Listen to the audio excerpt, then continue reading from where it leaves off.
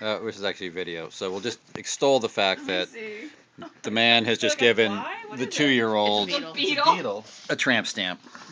There, DSS. That's the face you're looking for.